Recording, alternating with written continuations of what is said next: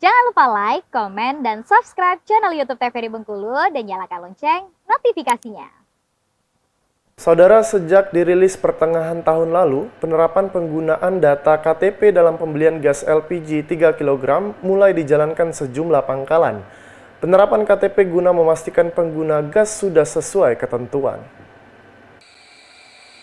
Salah satu pemilik pangkalan gas LPG 3 kg di kawasan Pondok Kelapa Bengkulu Tengah, Anggita mengungkapkan pihaknya sudah merealisasi pencocokan penggunaan data KTP dan kartu keluarga dalam pembelian gas LPG 3 kg di masyarakat.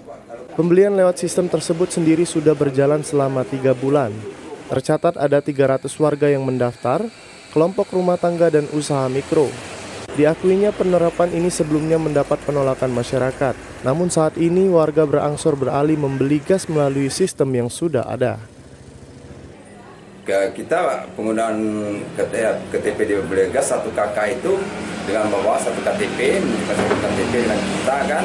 Nah, sudah itu kita masukkan di MyChat. MyChat itu kan ada sendiri Pak pembelian itu. Kalau memang dia itu sudah terdaftar di situ di aplikasi itu istilahnya itu kan uh, kita layani satu untuk satu pembelian itu satu gas terkecuali kalau usaha mikro kalau usaha memang dia betul-betul usaha mikro baru bisa dia beli dua gas Sebelumnya Disperindak KOP UKM Bengkulu Tengah menyatakan penerapan wajib KTP dalam pembelian gas 3 kg terutama di agen pangkalan mulai dilaksanakan awal tahun.